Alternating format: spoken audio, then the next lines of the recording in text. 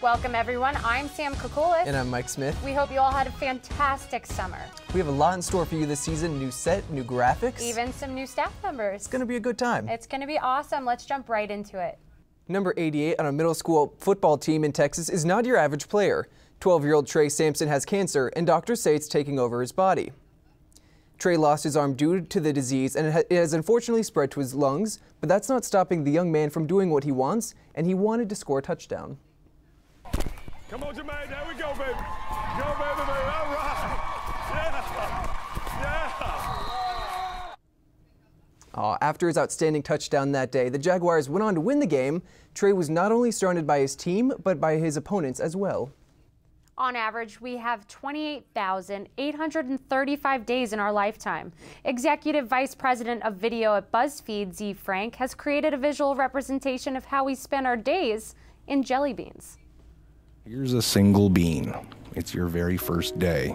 We will be asleep for a total of 8,477 days. After we remove all those beans, this is what remains. This is the time that we have left.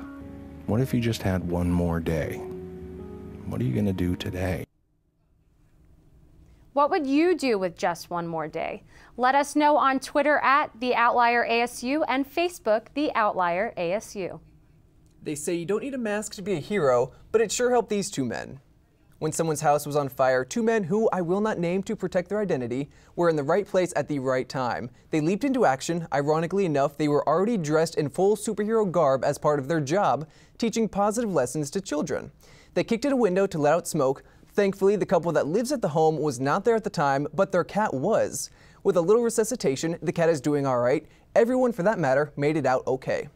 Side note, the man dressed as Batman is no amateur. He's a former firefighter, even helping out while stationed in Iraq with the military. A robbery victim, Seth Froom, has created a new iPhone case that, is not, that not only protects your phone, it protects you as well. The yellow jacket has a creative feature, a built-in stun gun. The case can shoot 650 kilovolts of electricity into your assailant's body, which is equivalent to, the, to a full-size stun gun. The case is sold for $125 and is available in multiple colors. As a bonus, it includes an external battery for your phone. People in Pennsylvania are getting their pants scared off, literally. A new haunted house attraction, Naked and Scared, challenges those 18 and older to go through the haunted house naked or prude in which they can wear their underwear, believing participants can reach a different level of fear as they are at their most vulnerable stage. Lawyers in that area avidly await the multiple lawsuits due to arise. Guests with disabilities will no longer be able to skip to the front of the line at Disney. As of October 9th, disabled patrons will now receive tickets with a return time that guarantees a shorter wait, much like the current FastPass system. Though families with children with disabilities are unhappy with the change, Disney believes they need to move forward with the new system. We welcome back Mariah Hurst with your PDQ this week. California Governor Jerry Brown passed a law that requires websites to let people under the age of 18 remove their postings. This eraser button is meant to protect teens from bullying, embarrassment, and harm to a future job or college application. The National Lawyers Guild is filing a petition against the U.S. government in a case with Puerto Ricans living on an island that was once used as a bombing range. On Tuesday, one lawyer said that families still suffer serious health conditions from living in a, in a toxic environment. The ex-president of Trader Joe's is opening a new store with expired food. His project is called The Daily Table. The hybrid store and restaurant was inspired by the 2012 report that said, due to misleading labels, consumers waste 40% of the food that is perfectly good to eat. Three new oil spills were reported Tuesday at a Colorado oil patch that was damaged by flooding. These are just three of the 11 notable spills at this location. At least 34,000 gallons of crude oil have been spilled. After accusations of racial discrimination, Abercrombie and Fitch stores are modifying their look policies. The update will acknowledge headscarves as acceptable in the workplace and accept other requests for uniform exceptions. That's a look at some other news. Sam, back to you. Crayola has introduced a new program called Color Cycle that may become the fuel of the future. Old Crayola markers can be turned into clean energy to be used for cars, ships, and heating purposes. One package of markers makes enough fuel to cook an egg or brew a pot of coffee. Currently, 17,000 markers have been successfully recycled through the process in about 600 schools around the country. I'm pretty sure I have a basement full of dried up markers that could totally fill up my gas tank. Devin, tell us what's trending this week. Thanks, Sam. Miley Cyrus was featured in Rolling Stone magazine this week about her sudden turn and attitude. She wasn't afraid to sprinkle in a few swears to prove her maturity, but got real with us when she admitted that her, the tear in her latest video, Wrecking Ball, was dedicated to her dog who just passed away. Grand Theft Auto 5 was released last week, but many on the internet are focusing in on Amanda Lestar's Vine she uploaded to put her, video, her brother's video gaming to an end. Check it out. How to piss off my brother.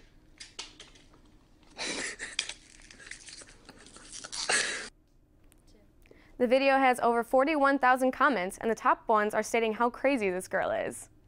A video featuring Matthew Giancarella proposing to his girlfriend Bryn while they were wakeboarding together has been gaining views.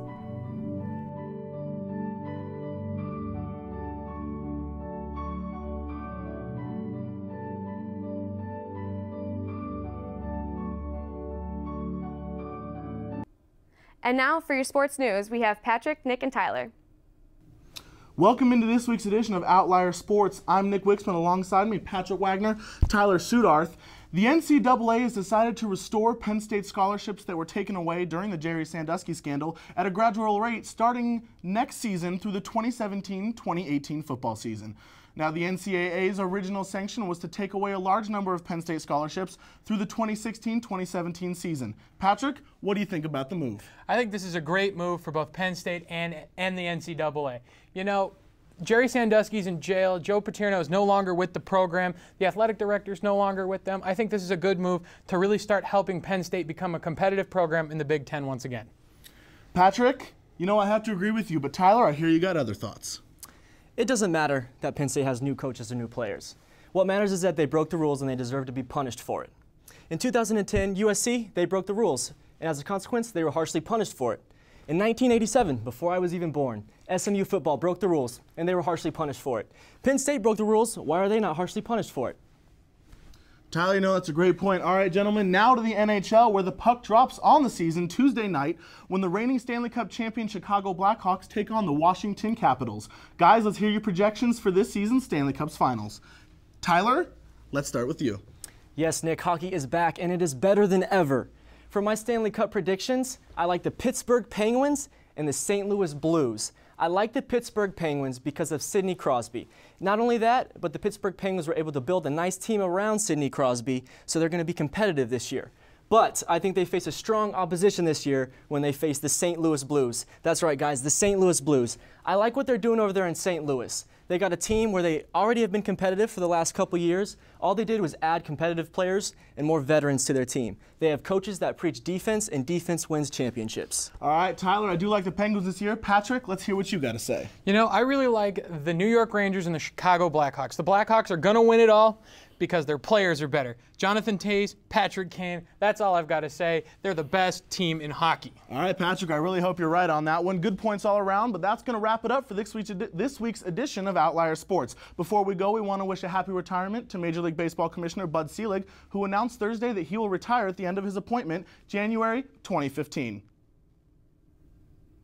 With a look at news around the world, we turn to Kelsey Tardillo with international news. The Great Firewall of China, banning foreign sites such as Facebook and Twitter since 2001, will be lifted, albeit partially. The lift is part of China's new Shanghai Free Trade Zone, an initiative meant to open up commerce to foreign businesses.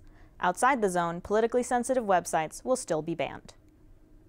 A ring that once belonged to Jane Austen will stay in England.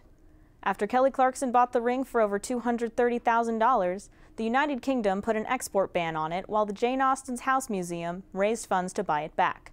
One anonymous donor to the museum pledged £100,000 to help buy the ring back. It will be on display next year. On the topic of extraordinary Brits, a 28 year old adventurer completed a solo row from Japan to Alaska by herself. Sarah Outen left Japan on April 27th. The excursion took 150 days and spanned over 3,700 miles of open ocean. Outen plans to bike across North America before trying another solo row across the Atlantic. That's what's going on around the world. Back to you we introduce Kyle Souza with the world of politics. As you may recall, earlier this summer, highly classified surveillance documents were leaked by the now infamous National Security Agency contractor Edward Snowden. These leaks contained information that outlined a widespread spying operation conducted by the NSA, including a collection of telephone records from millions of American citizens. For many of you watching, this may sound oddly similar to your favorite back-to-school party anthem. Artist 2 Chainz weighed in on the state of personal privacy in America during a recent interview with Alex Wagner of MSNBC. When asked about the basis of his hit new single, Feds Watchin', the former Playaz Circle rapper said this. Since this is our like right. 12 years since the towers, um, we, you know, um, since that tragedy happened, so it's not a secret uh, what our country is doing to try to, you know, keep us safe. And, you know, some people think it's being nosy at the same time. But for me, I just try to educate people in an entertaining way without boring them. Oddly enough, that is exactly what I am here to do as well. So thank you, 2 Chainz. Thank you for inspiring a generation of young, politically inclined individuals who are keeping it fresh as hell while the feds are watching. People are stretching it to the limit to take one class in downtown Phoenix. Katie Beery shows us how it's working more than their minds.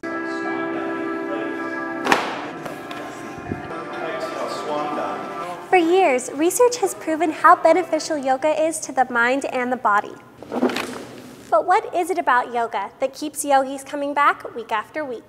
Inside the AE England building, bright and early on a Saturday morning, you'll find these people devoted yoga students breathing, stretching, length to the spine, and balancing before most of us have had our morning breakfast. For ASU Criminology and Justice students, Kara Henela and Erin O'Neill, yoga helps decrease stress and promote a calm mindset when dealing with college like I was saying, I get so like, wrapped up into school and stressed and thinking about all the things I have to do, and then you come here and it's an hour and a half of focusing on yourself and calming down and kind of not letting any of that get to you. It's transferred to my PhD work. It's transferred to my ability to um, just deal with problems in general. You want to open it up. Instructor Tim Cothran encourages beginners to attend any one of downtown Phoenix's classes to begin a healthier lifestyle. You can always advance, there's always development. Give it a try and, and see where it takes you.